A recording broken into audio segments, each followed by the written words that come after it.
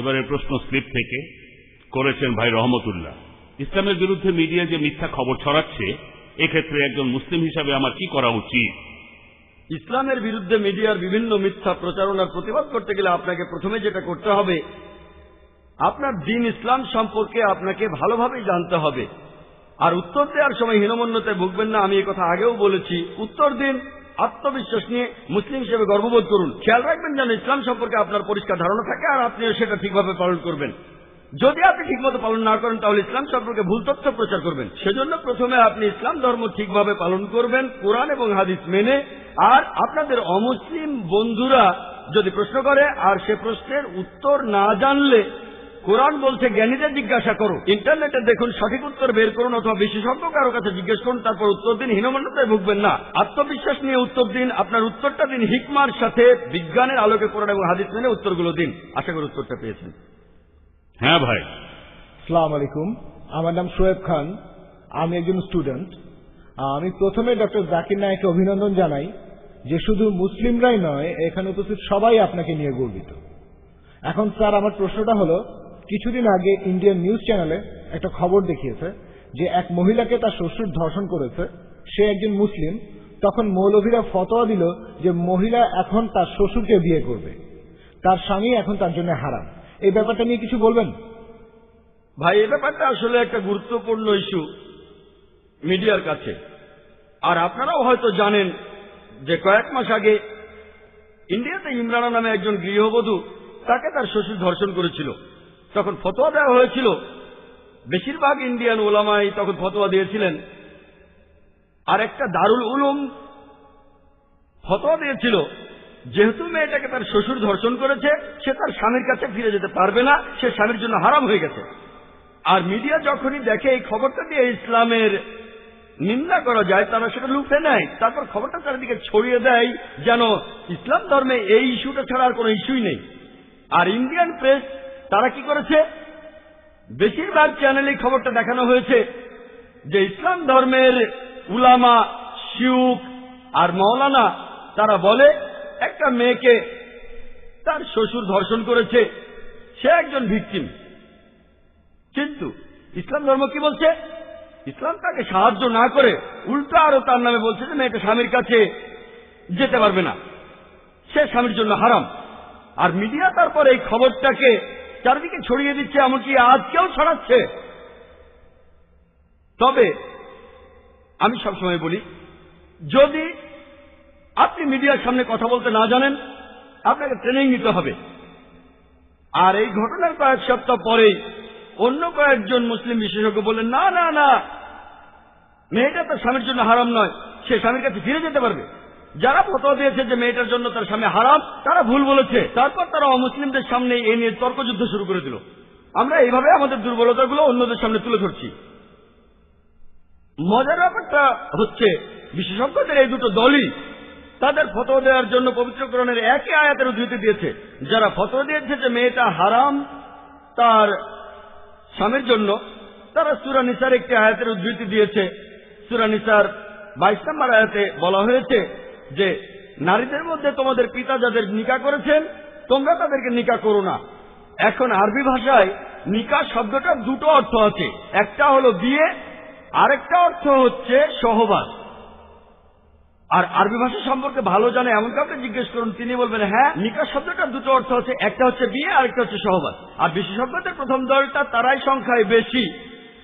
তারা হলেন দারুল উলুমের একটা বিশেষ গ্রুপ তারা নিকা শব্দটার অর্থ করেছেন সহবাস।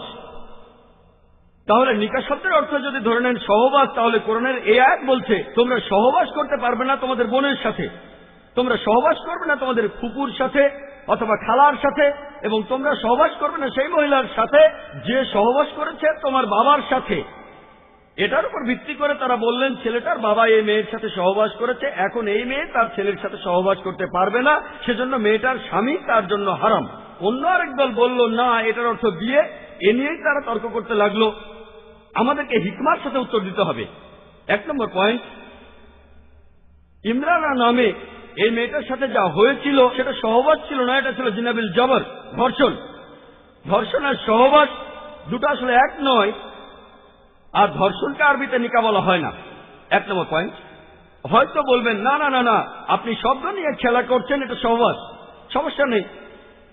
দেখেন, আমি আগেও বলেছি, যদি কেউ কোনো ভুল কিছু বলে, বিতর্ক করার একটা টেকনিক আছে। যদি কেউ বলে দুই যোগ দুই সমান পাঁচ, আমি তর্ক না করে বলব আচ্ছা এই নেন, এখানে দুই লক্ষ দিরহাম, আরও দুই লক্ষ দিরহাম, এবার আমাকে পাঁচ লক্ষ দিরহাম দেন। সে তখন বলবে, না না না। টেবিলটাকে ঘুরিয়ে দিন। আমাকে যখন এই প্রশ্নটা করা হয়েছিল, আমি বলেছিলাম, আমি তর্কের খাতিরে মেনে নিলাম যে নিকা অর্থ সহবাস। তাহলে কোরআনের আয়াতটা বলছে যে তোমরা সহবাস করবে না তোমাদের বোনের সাথে তোমাদের ফুপুর সাথে, তোমাদের খালার সাথে এবং সেই মহিলার সাথে যে তোমাদের বাবার সাথে সহবাস করেছেন। তার মানে কি এই যে কোরআন সহবাসের অনুমতি দিচ্ছে প্রতিবেশী মহিলার সাথে অথবা অন্য কোনো মহিলার সাথে, তারা বলে না না, আমি বললাম কেন? যদি বলেন যে নিকা অর্থ সহবাস, তাহলে কোরআন বলছে যে সহবাস করবে না তোমাদের বোনের সাথে, ফুপুর সাথে, খালার সাথে, আর যে মহিলার সাথে তোমার বাবা সহবাস করেছে, কিন্তু সহবাস করতে পারবে প্রতিবেশী মহিলার সাথে, অন্য যে কোনো মহিলার সাথে। তারা বলল, না তাহলে সঠিক অর্থটা হচ্ছে নিকা মানে বিয়ে। অর্থাৎ তোমরা বিয়ে করবে না তোমাদের বোনকে, তোমরা বিয়ে করবে না তোমাদের ফুফুকে, তোমাদের খালাকে, এবং বিয়ে করবে না সেই মহিলাকে যে বিয়ে করেছে তোমাদের বাবাকে। তবে আপনি প্রতিবেশী মহিলাকে বিয়ে করতে পারেন, অন্য যে কোনো মহিলাকে বিয়ে করতে পারেন। তাই আপনারা লড়াই না করে হিকমা দিয়ে এটা বোঝাবেন। আর কোনো বিশেষজ্ঞই বলবেন না যে আপনি সহবাস বা জিনা করতে পারেন যে কোনো মহিলার সাথে। হিকমার সাথে উত্তর দেন সমস্যার সমাধান হয়ে যাবে। কিন্তু দুর্ভাগ্যজনক ভাবে নিজেরাই একে অন্যের সাথে তর্ক করছি মিডিয়ার সামনে ইসলামকে সবার সামনে হাস্যকর বানাচ্ছি। আশা করি উত্তরটা পেয়েছেন। এবারের প্রশ্ন করা হচ্ছে আমার ডান দিকের মাইক থেকে। আসসালামু আলাইকুম আমার নাম সামিউল্লাহ ইনায়েত আমি একটা ইলেকট্রিক্যাল কোম্পানির সেলস এক্সিকিউটিভ আমার প্রশ্নটা হলো মিডিয়াকে সাধারণত রাষ্ট্র কিছুটা প্রভাবিত করে? রাষ্ট্রের সরকার মিডিয়াকে নিয়ন্ত্রণ করে? আর বিশেষ করে মুসলিম দেশগুলোতে মানে মধ্যপ্রাচ্যের যেখানে আরবরা বসবাস করে, আমি সেখানে একথা শুনেছি, সেখানে বেশিরভাগ অনুষ্ঠানই মুসলিমদের জন্য দেখানো হয়। এখন এই সব দেশের শাসকরা কীভাবে মুসলিম মিডিয়ার অবস্থানকে উন্নত করতে পারেন? আমি আমার লেকচারে বলেছি যে কিছু মুসলিম চ্যানেল আছে, চ্যানেল নেই, সেটা বলিনি। তবে তাদের অনুষ্ঠানগুলো শুধুমাত্র মুসলিমদের জন্যই। ইন্ডিয়াতে উর্দু চ্যানেল আছে, শুধু মুসলিমদের জন্যই। পাকিস্তানেও মুসলিমদের জন্য অনুষ্ঠান হয়। আরবি ভাষাতেও দেখতে পাবেন, আরবি চ্যানেল আছে অনেক। ভালো, খারাপ অনেক। তবে তাদের অনুষ্ঠানগুলো আরবদের জন্য। এটা ঠিক আছে, আরবি ভাষা যদি ভালো অনুষ্ঠান হয়, সেটা ঠিক আছে। আমি বলছি না ভুল। যদি চ্যানেলগুলো ভালো হয় আর ইসলাম শরিয়া মেনে চলে, যেমন মাদাব চ্যানেল ইত্যাদি। তবে এটাই যথেষ্ট নয়। আমার কথা হলো, এমন একটা চ্যানেল শুরু করতে হবে যেখানে ভাষাটা হবে আন্তর্জাতিক ভাষা। আমরা আন্তর্জাতিক পর্যায়ে মানুষের দৃষ্টিভঙ্গিটা যাতে বদলে দিতে পারি। পুরো পৃথিবীর মানুষের মনোভাব বদলে দিতে পারি। শুধুমাত্র আরবদের কাছে ইসলামের ভালো কথাগুলো বলছেন, এটা অবশ্য ভালো কাজ। আমাদের একটা চ্যানেল দরকার, যেটার ভাষা হবে আন্তর্জাতিক ভাষা। আমি এখানে বলব যে, ঠিক আছে, আপনারা আরবে বিভিন্ন দেশ শাসন করছেন, তবে আপনারা কেন ইংরেজিতে ইসলামিক চ্যানেল চালু করছেন না, যেটা ইসলাম ধর্মের বাণী প্রচার করবে পৃথিবীর সব জায়গা থেকে, যেটা যাবে আমেরিকাতে ইউরোপে, অস্ট্রেলিয়ায়, মধ্যপ্রাচ্যে, এশিয়ায়, সব জায়গায় এতে করে মানুষের মনোভাব বদলাতে পারব। একই সাথে ইসলাম ধর্মকে প্রচার করতে পারব, যেটা ইসলাম অনুযায়ী ফরজ। এবারে প্রশ্ন স্লিপ থেকে করেছেন ভাই কাইসার রহমান। একবিংশ শতাব্দীতে এসে আমরা পৃথিবীর মুসলিমরা, আমরা এখনও রুটি রুজির জন্যই যুদ্ধ করে যাচ্ছি। তবে একথা কি বলবেন? যে আমাদের কেন বিবিসি বা সিএনএন এর মতো কোনো টিভি চ্যানেল নেই আমি এখানে লেকচার দিলাম মিডিয়া আর ইসলাম নিয়ে, আর আপনি এখন প্রশ্ন করলেন কেন? যেন আমি আপনাকে রোমিও জুলিয়েটের পুরো গল্পটা বললাম, আপনি বললেন রোমিও কি ছিল না মেয়ে? ভাই, আমি এতক্ষণ কথাই বললাম, ইসলাম আর মিডিয়া নিয়ে আমরা পিছিয়ে আছি, আমাদের দোষেই এটার উপরে এতক্ষণ লেকচার দিলাম। সম্ভবত আমার লেকচার শুরুর আগে প্রশ্নটা লেখা হয়েছিল। সেজন্য আমি বলি, সরাসরি প্রশ্ন করুন। অনেকের মাথাতে একটা প্রশ্ন থাকে, সেটা লিখে ফেলে, তারপর আমি যে কথাই বলি, সেটা জমা দিয়ে দেয়। পুরো লেকচারটা এই বিষয়টা নিয়ে যদি আবার শুনতে চান ভিডিও ক্যাসেটটা নিয়ে আপনি যতবার খুশি দেখতে পারেন।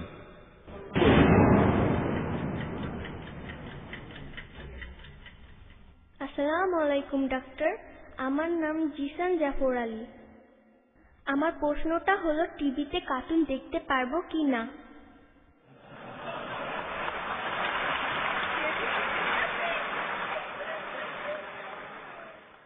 ভাই, তুমি আসলে সত্যি খুব সুন্দর একটা প্রশ্ন করেছ যে আমাদের কার্টুন দেখার অনুমতি আছে কিনা। বর্তমানে একটা ইন্টারন্যাশনাল সার্ভে আমাদের বলছে, শিশুদের সবচাইতে বড় ক্ষতি করেছে যে জিনিসটা, সেটা স্যাটেলাইট চ্যানেল আমেরিকাতে একটা শিশু গড়ে প্রতিদিন প্রায় সাত ঘণ্টা টিভির সামনে বসে থাকে। স্কুলে সে এর চাইতে কম সময় থাকে। বেশিরভাগ চ্যানেলই তাদের ইসলাম থেকে দূরে নিয়ে যায়, এমনকি কার্টুন চ্যানেলগুলো বেশিরভাগ চ্যানেলই আপনারা চ্যানেলগুলোতে অনেক ভায়োলেন্স দেখবেন আর একজন যদি প্রত্যেকদিন ভায়োলেন্ট অনুষ্ঠানগুলো দেখে, হোক সে কার্টুন বা সিনেমা তার বন্ধুর সাথে ঝগড়া হলে সে তার বাবার পিস্তল নিয়ে বন্ধুকে গুলি করে মারে।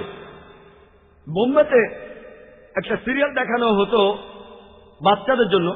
অনেকটা কার্টুনের মতোই ছিল, নাম ছিল শক্তিমান, অনেকটা ঠিক সুপারম্যানের মতোই। একটা বাচ্চা তার বাসা থেকে লাভ দিল, উঁচু দালান থেকে, ভাবলো যে শক্তিমান বা সুপারম্যান তাকে বাঁচাবে। কেউ এসে তাকে বাঁচালো না, সে মারা গেল। যখন বাচ্চার বাবার সাথে কথা বলা হলো, তিনি বললেন যে, আমি ভাবতেই পারিনি আমার ছেলে লাভ দেবে। হয়তো আগামীকাল আপনার বা আমার ছেলেও লাভ দেবে। তাহলে এই মিডিয়ার প্রভাব এখন এতটাই বেশি, এটা মানুষকে অন্ধ বানায়। আর এতে সবচেয়ে ক্ষতি হয় বাচ্চাদের। সেজন্য আমি বোম্বেতে একটা স্কুল চালু করেছি, যার নাম ইসলামিক ইন্টারন্যাশনাল স্কুল। এই স্কুলে ভর্তি হওয়ার একটা শর্ত হলো, আপনার বাড়িতে কেবল টিভি থাকতে পারবে না। স্যাটেলাইট টিভি থাকবে না, এটা শয়তান। এটা একটা শয়তান। লোকে আমাকে বলে, তাহলে আমরা টিভি কীভাবে দেখব? এক নম্বর পয়েন্ট টিভি দেখার জন্য যদি কয়েকশো শয়তানকে আপনার ঘরে ঢুকতে দিতে হয়, কিছুই দেখা লাগবে না, সেটাই সবচেয়ে ভালো। বড় কোনো ক্ষতির চেয়ে ছোট ক্ষতি ভালো। কিন্তু যদি আপনার একটা স্পেশাল ডিশ থাকে আর একটা ডিকোডার আপনি শুধু টিভি দেখবেন, অন্য কোনো চ্যানেল না। আমরা চেষ্টা করব যাতে মধ্যপ্রাচ্য আপনারা দেখতে পারেন। একটা ডিশ দিয়ে খরচ হবে মাত্র কয়েকশো রুপি বা কয়েকশো দিরহাম মাসে মাসে দিতে হবে না। অন্য চ্যানেলগুলো তো যেভাবে দেন, হয়তো মাসে মাসে দুশো বা আড়াইশো রুপি। খরচ করুন কয়েক হাজার রুপি আর বিল্ডিং এর সব সাথে যেন দেখে। একটা ডিকোডার নেন, সেটা দিয়ে পৃথিবী শুধু দেখবেন, অন্য কোনো চ্যানেল দেখবেন না। বর্তমানে যা আছে সেগুলোকে বাদ দেব না যে এটা হালাল, এটা হারাম। একটা সাবস্টিটিউট থাকতে হবে। আমরা বলি যে আমাদের স্কুলের অভিভাবকগণ কেবল টিভি দেখেন না, তবে আমাদের কাছে ইসলাম ও অন্যান্য ধর্মের উপর পাঁচ হাজার ভিডিও ক্যাসেট আছে। যদি প্রত্যেক দিন একটা করে দেখেন, প্রায় তিন ঘণ্টার, সবগুলো থেকে শেষ করতে আপনার তেরো বছরের বেশি সময় লাগবে। এই সময়ের মধ্যে আপনার ছেলে বা মেয়ে স্কুল থেকে পাশ করে চলে যাবে। যদি প্রতিদিন একটা করে দেখেন, আমাদের লাইব্রেরিতে আরও নতুন ভিডিও আসবে। তেরো বছরে আরও পাঁচ হাজার নতুন ভিডিও থাকবে ইনশাল্লাহ আমাদের এই ইসলামিক ভিডিও ক্যাসেট লাইব্রেরিতে বাচ্চাদের জন্য কার্টুনও রয়েছে, তবে সেগুলো ইসলামিক লাইনের। সেজন্য ভাই তোমাকে বলছি, তোমরা এমন কার্টুন দেখবে যেগুলো ইসলামিক বিষয়ের উপর তৈরি করা। যেখানে কোরআনের কথা আছে, নবীজির হাদিসের কথা আছে, এমন অনেক কার্টুন আমাদের কাছে আছে। এই কার্টুনগুলো আপনাকে ইসলামের কাছাকাছি নিয়ে যাবে, ইসলাম থেকে দূরে নিয়ে যাবে না। এছাড়া যে কার্টুনগুলো আছে, Tom and Jerry, Batman, Superman এগুলোর মধ্যে কোনো নীতিকথাই নেই। এগুলো আপনাকে আল্লাহর কাছ থেকে দূরে নিয়ে যাবে। এগুলো তো অনেক ভায়োলেন্স থাকে। সেজন্য ইসলামিক কার্টুন দেখবেন যেমন মুসলিম স্কাউট এরকম আরও অনেক কার্টুন যেমন ফতে সুলতান, যেগুলোতে একটা নৈতিক গল্প আছে, আর এগুলো আপনাকে ইসলামের দিকে নিয়ে আসবে। তাই ভাই, তুমি যদি কার্টুন দেখতে চাও, ইসলামিক কার্টুন দেখো, যেটা আল্লাহর পথে তোমাকে নিয়ে আসবে। কিন্তু সেই কার্টুন না যেগুলো আল্লাহর পথ থেকে দূরে নিয়ে যাবে। আশা করি উত্তরটা পেয়েছ। এবারের প্রশ্নটা করেছেন ভাই মোহাম্মদ হোসেন আসাদি।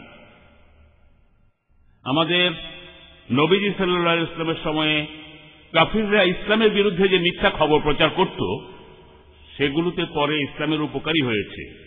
আপনার মনে হয় না? এমনকি এবারও একই ঘটনা ঘটবে? ভাই, আপনি বললেন যে আমাদের নবীজির সময় অনেকে ইসলামের বিরুদ্ধে মিথ্যে প্রচারণা চালিয়েছিল, তাতে ইসলামের উপকারী হয়েছে। আর আমরাও সবসময় সেটাই চাই। আমার মনে আছে, একবার আমি ইংল্যান্ডে গিয়েছিলাম টেরোরিজম জিহাদের উপর একটা লেকচার দিয়েছিলাম। আর স্বাভাবিকভাবে ওসামা বিন লাদেনকে নিয়ে প্রশ্ন ছিল।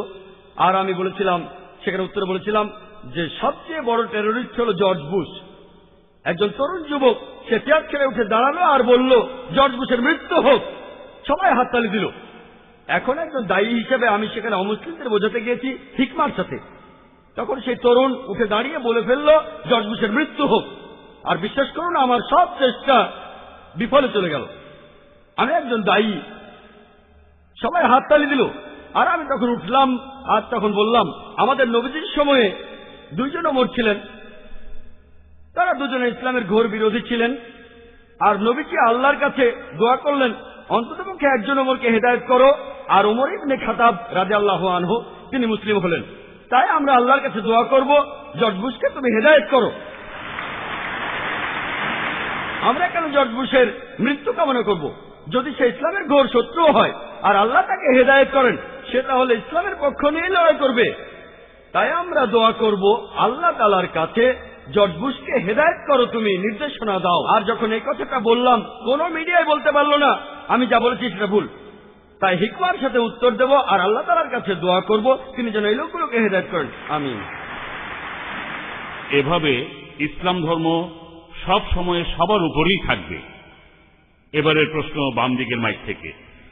আসসালামু আলাইকুম ওয়ারহমতুল্লাহি ওবারাকাতুহু আমার নাম খালেদ হোসেন আর আমি একটা প্রতিষ্ঠানে ইলেকট্রিক্যাল ইঞ্জিনিয়ার হিসেবে কর্মরত আছি। আমার প্রশ্নটা হলো, ইসলাম কি মিডিয়ার অনুমতি দেয়? কারণ নবীজি মোহাম্মদ সাল্লাহ আলাইসাল্লামের সময়ে জনগণের সাথে যোগাযোগের তেমন কোনো মাধ্যম ছিল না। একথা আপনি বললেন। তাই আপনি কি কোরআনের কোনো সুরার উদ্ধৃতি দেবেন? অথবা কোনো সহি হাদিস? ধন্যবাদ। ভাই, আপনি প্রশ্ন করলেন যে নবীজি সাল্লাহ সাল্লামের সময় জনগণের সাথে যোগাযোগের তেমন কোনো মাধ্যম ছিল না। তাহলে ইসলাম কি মিডিয়ার অনুমতি দেয়? আর কোরআন বা হাদিসের কোনো উদ্ধৃতি আছে কি না? ভাই, একটা কথা বলি। ইবাদতের কথা যদি বলতে হয়, যেটা বলা হয়েছে যে এটা ফরজ, এটা হলো ইসলাম শরিয়া। অন্যান্য ব্যাপারে, দৈনন্দিন জীবনের বিভিন্ন ব্যাপারে যেগুলোকে হারাম বলা হয়েছে, সেগুলো হারাম, বাদবাকিগুলো হালাল। যেমন ধরুন শুকরের মাংস খাওয়া হারাম হারাম। মদ খাওয়া হারাম। এমন কথা বলা না হলে হালাল। আপনাকে একটা প্রশ্ন করি, কোরআন বা হাদিসে কি এমন কথা বলা আছে যে আম খাওয়া হালাল? তাহলে কি আপনি বলবেন যে আম খাওয়া হারাম? তাহলে ইবাদতের ক্ষেত্রে যেগুলোকে বলা হয়েছে সেগুলো ফরজ। এটা শুধু ইবাদতের ক্ষেত্রে। আর জীবনযাপনের ক্ষেত্রগুলোতে যেগুলোকে হারাম বলা হয়েছে, সেগুলো বাদে বাকিগুলো হারাম না হলে হয়তো বলবেন, ভাই, জাকির, আপনি আম খাচ্ছেন কেন? আমি আম পছন্দ করি। কারণ আমি ইন্ডিয়া থেকে এসেছি। আমি আমার দেশ নিয়ে গর্বিত, আর আমার দেশের আম সেটা নিয়েও গর্বিত। এখন আপনি আমাকে পবিত্র কোরআন বা হাদিসের কোন উদ্ধৃতি দেখান যে মিডিয়া হারাম। কিন্তু না কিন্তু না, আমি আপনাকে প্রমাণ দেখাচ্ছি। নবীজি মোহাম্মদ সাল্লাম কি করেছিলেন? তিনি চিঠি লিখেছিলেন অমুসলিম রাজাদের উদ্দেশ্যে, যেমন আবিসিনিয়ার রাজাকে, ইয়েমেনের রাজাকে পার্সিয়ায়। নবীজি সেই চিঠিগুলোতে পবিত্রকরণের সুরা ইমরানের চৌষট্টি নম্বর আয়াতের উল্লেখ করেছিলেন কোন ইয়াহালাল কিতাব, বলা হয় কিতাবিগণ তার আইলা কালিমাতিন সাইম বাইনানা ও বাইনাকুম। এসো সেই কথায় যাহা তোমাদের এবং আমাদের মধ্যে এক। প্রথম সাদৃশ্য কি? আল্লাহ না খুদা ইল্লাল্লাহ ওয়ালা নুসরিহি কাবিহি সাইয়াও কোন কিছুকেই তার শরিক করি না। ওয়ালা ইয়াত্তা খিজা বাহাদুন বাহাদান আর বাবা মিন্দুনিল্লাহ আমরা আমাদের মধ্য থেকে কাউকে আল্লাহ ব্যতীত রব হিসেবে গ্রহণ করি না। হাই তাল্লাহ যদি তারা মুখ ফিরিয়ে নেয় সকল সাধু তোমরা সাক্ষী থাকো। বি আন্না মুসলিমুন। আমরা মুসলিম, আল্লাহর সামনে নতজন হই। নবীজি চিঠিগুলো লিখিয়েছিলেন, তারপর ঘোড়াই করে পাঠিয়েছিলেন। আজকের দিনের মার্সিডিজ গাড়ি। অথবা আর কি বলতে পারেন, জেট প্লেন। বিভিন্ন দেশে পাঠিয়েছিলেন। তাদেরকে ইসলাম গ্রহণ করতে বলেছেন। সেটাই ছিল সে সময়ের মিডিয়া। চিন্তা করেন, চিঠিগুলো লিখিয়েছিলেন। আর তারপর ঘোড়ায় করে সেগুলো বিভিন্ন দেশে পাঠিয়েছিলেন। নবীজি সাল্লাহ সাল্লাম তার সময়ের মিডিয়াকে পুরোপুরি ব্যবহার করেছিলেন। যদি আজকের দিনে নবীজি সাল্লাহ সাল্লাম বেঁচে থাকতেন, আমার ধারণা তিনিও আজকের এই মিডিয়াকে পুরোপুরিভাবে ব্যবহার করতেন। তবে সেটা ইসলামের শরিয়া মেনেই হতো। হারাম কোনো কিছু ব্যবহার করা হতো না। হারাম কিছু ব্যবহার করা যাবে না। হালাল উপায়ে হবে। যেমন একটা ছুরি ব্যবহার হয় ভালো কাজে, আবার খারাপ কাজেও। ছুরি ব্যবহার করা হারাম না। তাই মিডিয়া আসলে হারাম না। যদি বেশিরভাগ লোক ভাবে যে মিডিয়া হারাম, আমরা এখন এই মিডিয়াকে হালাল কাজে ব্যবহার করব, টেবিলটাকে উল্টে দেব। ইসলামিক শরিয়ার নিয়মগুলো মেনে হালাল উপায়ে ব্যবহার করব, তখন হয়তো আল্লাহ সুবাহ আল্লাহর কাছে বলতে পারব, আমরা আমাদের ক্ষুদ্র সামর্থ্যে যথাসাধ্য চেষ্টা করেছি ইসলাম প্রচার করার জন্য। কারণ আমাদের কাজ হলো ইসলাম প্রচার করা। আল্লাহ বলেছেন ফাজাক্কির ইন্নামা আন্তা আমাদের কাজ ইসলাম প্রচার করা। আর মানুষকে হেদায়ত করা, সেটা আল্লাহ সুবাহ তাল্লাহর হাতে। আশা করি উত্তরটা পেয়েছেন। এবারের প্রশ্নটা করেছেন তানভীর খান, হিন্দু অথবা অমুসলিম। মিডিয়াকে উত্তর দেওয়ার জন্য আমাদের কি গীতা, বাইবেল ইত্যাদি পড়া উচিত? ভাই, আপনি প্রশ্ন করলেন যে হিন্দু বা অমুসলিম মিডিয়াকে উত্তর দেওয়ার জন্য আমাদের কি গীতা বা বাইবেল পড়া উচিত? এটা আসলে ইসলামের ঠিক ফরজ না। এটা হলো মুস্তাহাব। আপনি করতে পারেন। কারণ আল্লাহ তালা বলেছেন, আমিও এই আয়াতের কথা বলেছিলাম আগের প্রশ্নের উত্তরে। সুরা ইমরানের চৌষট্টি নম্বর আয়াতে বলা হয়েছে তালা ইলা কালিমাতিন সাওয়াইম বাইনানা ওয়া বাইনুকুম। এসো সেই কথায় যাহা আমাদের এবং তোমাদের মধ্যে এক। এখন আমরা এক কথায় কীভাবে আসব যদি তাদের ধর্মগ্রন্থগুলো না পড়ি?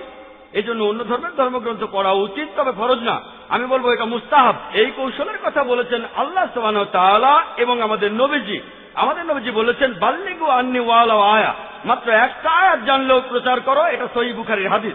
এরপরে আরও বলা হয়েছে, আহলে কিতাবীদের গ্রন্থ থেকে উদ্ধৃতি দিলেও কোনো সমস্যা নেই। তাহলে অন্য ধর্মের গ্রন্থগুলো পড়া হলো একটা কৌশল যেটা দেখিয়েছেন আমাদের নবীজি।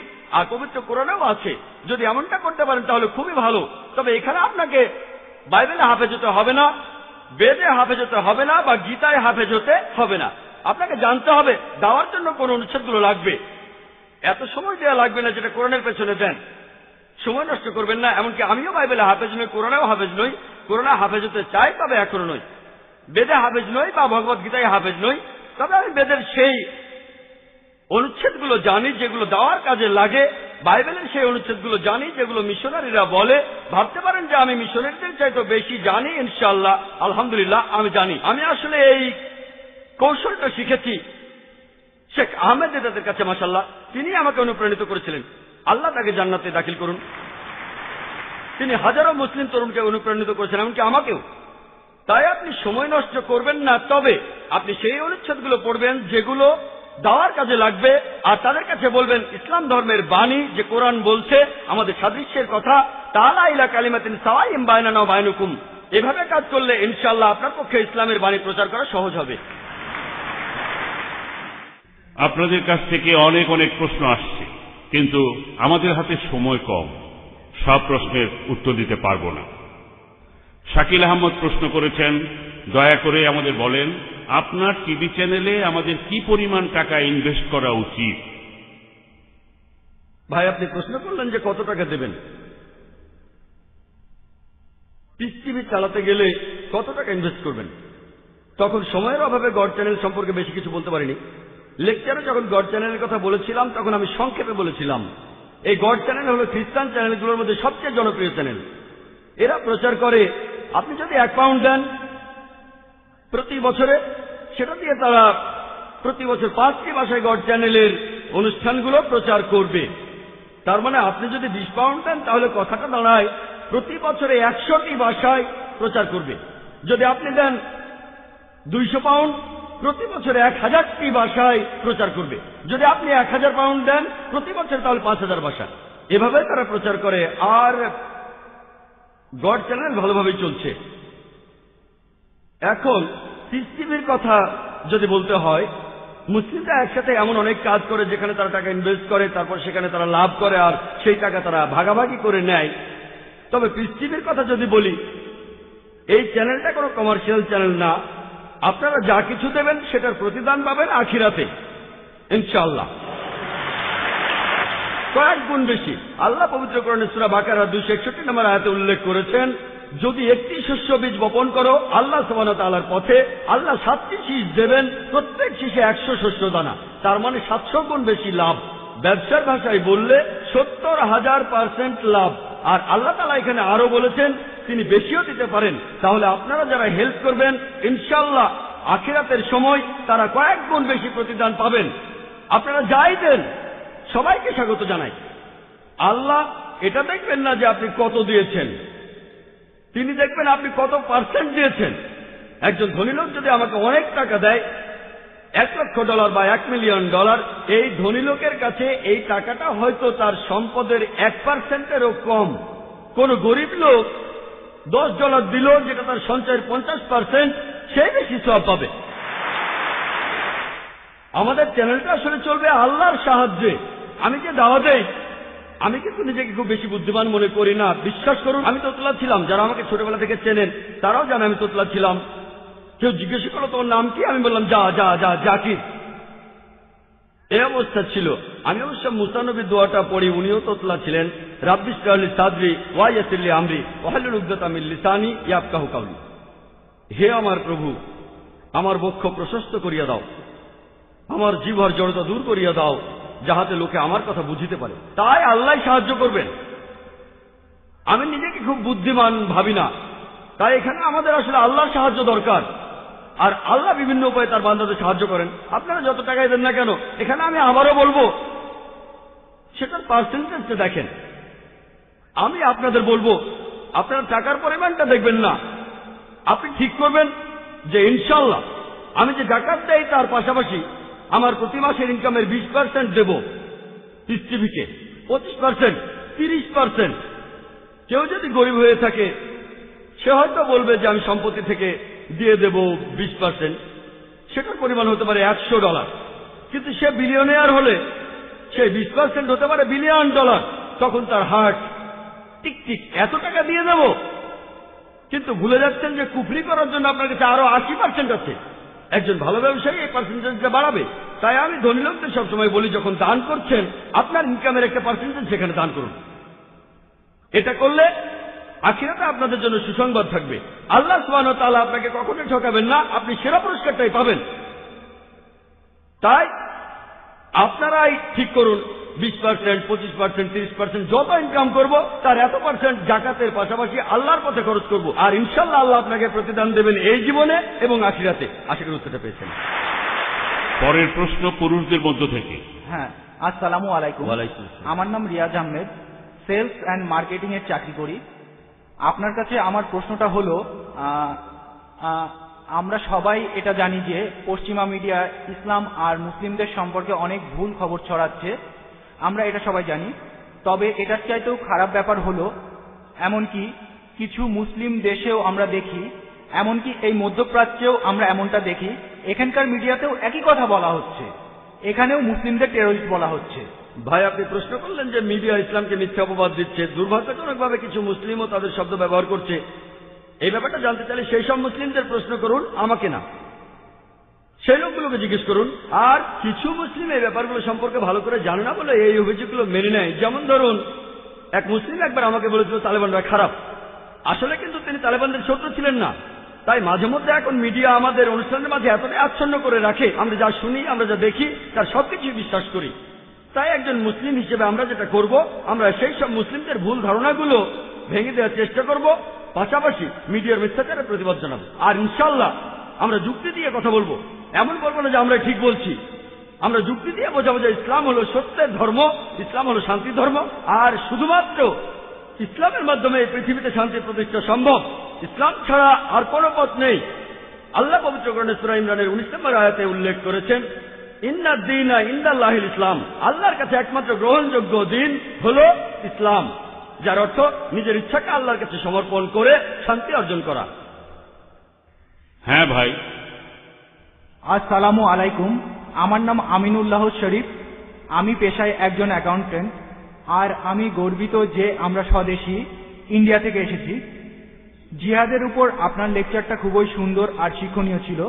আমার প্রশ্নটা হলো, আমার ধারণা এখানে বেশিরভাগ লোকই এমনটা মনে করে যে ওসামা বিন লাদেন আসলে জিহাদ করছে। আমার অনেক সহকর্মী আর অন্যান্য লোকজন তারা প্রশ্ন করে যে এটা আসলে জিহাদ কি না এখন এসব ব্যাপারে আমরা জানি না তাদের কীভাবে বোঝাবো? আমার দ্বিতীয় প্রশ্নটা হলো এটা যদি জিহাদ না হয় তাহলে এটাকে কি বলা যায়? ইসলাম এই ব্যাপারে কি বলে? প্রশ্ন করলেন যে ওসামা বিন লাদেন জিহাদ করছেন কি না? ভাই ওনার সাথে আমার কখনো দেখা হয়নি। ব্যক্তিগতভাবে তাকে আমি চিনিও না। সিএনএন আর বিবিসির খবরের উপর ভিত্তি করে আমি উত্তরটা দিতে পারব। সেজন্য কোনো মন্তব্য করব না। আমার সাথে কখনো দেখা হয়নি। অনেক খবরই জানি, অনেকের সাথে দেখা হয়নি, জর্জ বুশের সাথেও কখনো দেখা হয়নি। কিন্তু যেহেতু সিএনএন খবর দেখছি আর খবরগুলো বিশ্লেষণ করে বুঝতে পারছি যে তারা যে খবরটা দেখাচ্ছে, সেটা সঠিক। তবে এ কথাটা বলতে পারি, আমি জিহাদ করছি। আলহামদুলিল্লাহ, আমি জিহাদ করছি। আমি সংগ্রাম করছি। আমি আল্লাহ তালার প্রতি সংগ্রাম করছি। জিহাদ অর্থ চেষ্টা করা, সংগ্রাম করা। আমি আমেরিকান পুলিশদেরও একই কথা বলেছিলাম যে আমি জিহাদ করছি আমি চেষ্টা করছি আমি সংগ্রাম করছি। সে জিহাদ করছে কিনা সেটা আমি জানি না। তার সাথে কখনো দেখা হয়নি। আর আল্লাহ তালা কেমতের দিন আপনাকে প্রশ্ন করবেন না যে ওসামা বিন লাদেন জিহাদ করেছে কিনা। আজকে সর্বশেষ প্রশ্ন মহিলাদের মধ্য থেকে। বিসমিল্লাহির রহমান রাহিম। আমার নাম ডক্টর ফেরদৌস। আমার প্রশ্নটা হলো রাসুল্লাহ সাল্লাহু আলহিউসাল্লামের হাদিস থেকে আমরা দাজ্জালের বিভিন্ন বৈশিষ্ট্য সম্পর্কে জানতে পারি। এমন বেশ কিছু হাদিস আমাদের বলে যে, দাজ্জাল পৃথিবীর সব বাড়িতেই যাবে। সে তোমাকে এমন পানি দেখাবে যেটা পান করতে পারবে না। এমন আগুন দেখাবে যেটাতে তুমি পড়বে না। আমরা কি টেলিভিশনকে এমন একটা দাজ্জাল বলতে পারি না? বোন, আপনি প্রশ্ন করলেন যে একটা সহি হাদিসে দাজ্জালের কথা বলা হয়েছে। অনেক বিশেষজ্ঞ বলেন, আর আপনি কথা বললেন যে কিছু কিছু বিশেষজ্ঞ বলেন যে এই টেলিভিশন কানা আর দাজ্জাল এক চোখের দাজ্জাল। স্ক্রিনের হলো একটা চোখ, তাই টিভি হলো দাজ্জাল। এখন এই টিভিকে দাজ্জাল বলা যায় কিনা? আমরা আসলে নিশ্চিতভাবে বলতে পারি না যে টেলিভিশনই হচ্ছে দাজ্জাল। এখানে আমরা কি করতে পারি? আমাদের নবীজি সাল্লাহ সাল্লাম বলেছেন, যখন তোমরা সালাতের জন্য দাঁড়াবে, কোনো ফাঁকা জায়গা রেখো না। ফাঁকা জায়গা পূরণ করো, যাতে করে শয়তান সেখানে দাঁড়াতে না পারে। সহি বুখারি, এক নম্বর খণ্ড, বুক অব আজানের পঁচাত্তর অধ্যায়ের ছয়শো বিরানব্বই নম্বর হাদিস। এই হাদিসটা এছাড়াও আছে, সেটা সুন্নান আবু দাউদে, এক নম্বর খণ্ড, বুক অব সালাতের দুইশো পঁয়তাল্লিশ নম্বর অধ্যায়ের হাদিস নম্বর ছয়শো ছেষট্টি। যখন তোমরা সালাতের জন্য দাঁড়াবে, কাঁধে কাঁধ লাগিয়ে দাঁড়াও, ফাঁকা জায়গা পূরণ করো, যাতে শয়তান ঢুকতে না পারে। যদি আপনি মনে করেও থাকেন টিভি একটা দাজ্জাল, তাহলে সে দাজ্জালকে মুসলিম বানিয়ে নিন। এই মিডিয়ার চেহারা পাল্টে দিয়ে এটা দিয়ে ইসলাম প্রচার শুরু করে দিন। এমন কোনো প্রমাণ নেই যে টেলিভিশন একটা দাজ্জাল। তবে আপনি যদি টিভিকে দাজ্জাল মনে করেও থাকেন, তাহলে আমরা কি করব? আমরা এই মিডিয়াকে ব্যবহার করব সত্য প্রচারের কাজে। যাতে করে আল্লাহ সুবাহ তাআলার কাছে বলতে পারি যে আমরা ইসলাম প্রচারের জন্য যথাসাধ্য চেষ্টা করেছি। এই পৃথিবীতে ইসলামের বাণী ছড়ানোর চেষ্টা করেছি পুরো মানুষ জাতির জন্য ওয়াকির দাওয়ান আলহামদুলিল্লাহ মোহাম্মদ আরিফ জুলফার এবার অনুষ্ঠান শেষ করবেন। ধন্যবাদ। আমি এখানে উপস্থিত সবার পক্ষ থেকে ডাক্তার জাকির নায়েককে আমার ধন্যবাদ জানাচ্ছি। জাজাক আল্লাহ খায়ের। আল্লাহ আপনাদের সবাইকে শান্তিতে রাখুন। আসসালামু আলাইকুম রহমতুল্লাহ।